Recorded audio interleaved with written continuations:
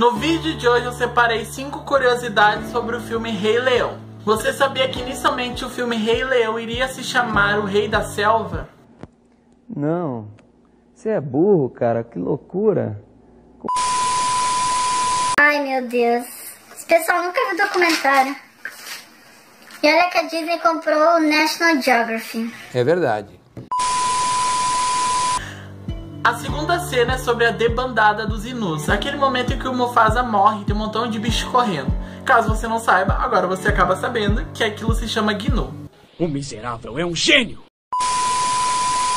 Mas você sabia que essa cena tem apenas dois minutos e demorou três anos para ser feita?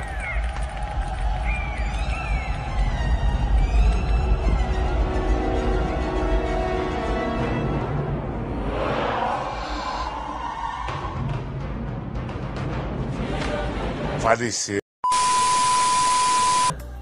Sem falar que ela mistura animação 2D com 3D. Ou seja, naquela cena eles não usaram animação tradicional, que é que você pegar uma folha e desenhar quadro por quadro. Não. Eles usaram computador naquela cena. Rei Leão foi uma das primeiras animação a não ter a presença de seres humanos.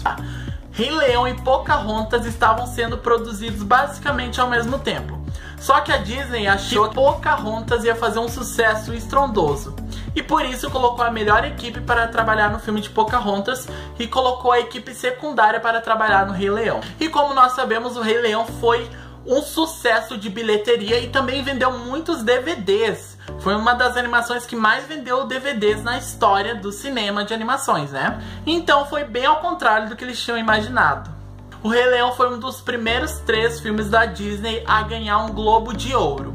E ele ganhou na categoria de melhor filme. Bom, galera, esse foi o vídeo de hoje. Espero que vocês tenham gostado. Se vocês gostaram, inscreva-se aqui embaixo, ative o sininho das notificações, porque nesse canal nós temos vídeos todos os dias. Muito obrigado por ter ficado até o final e tchau!